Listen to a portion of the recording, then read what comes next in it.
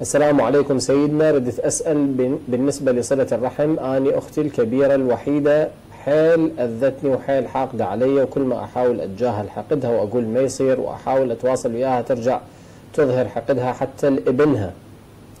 الظاهر هي أيضا تظهر الحقد لابنها حسب ادعاء الأخت المرسلة.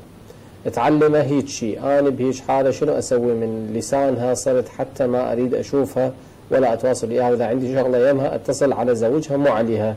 أنصحني سيدنا. ما أدري إذا كانت المرسلة أو يعني إذا كان المرسل هو الأخ الأخوة تفضلوا سيدنا.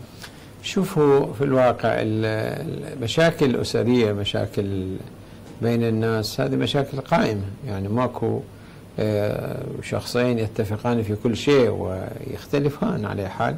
نعم. وهذا الاختلاف أمر طبيعي. ولكن أن تصل حالة بين أختين حالة الكراهية يعني وتكره أختها وتحاول أنه تسفه فيها وتسقط فيها وتهينها هذا خلاف يعني خلاف الرحمة وخلاف العاطفة.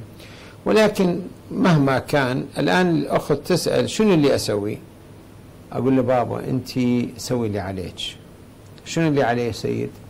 اللي عليك أنه تتواصلين معاها ولو برسالة سلام عليكم. بس.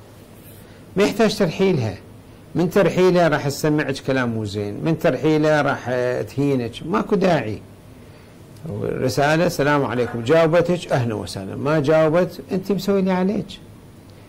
فأنا أكرر دائما أنه صلة الرحم ما يعني أنه أروح أزور وأقعد ساعة وساعتين. لا صلة الرحم يمكن باتصال تليفوني.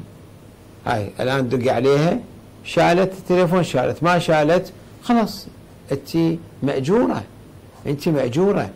يصدق عليك يصدق عليك أنها وصلت رحمها. والإمام يقول صل من قطعك وأنت وصلت من قطعك. جيد.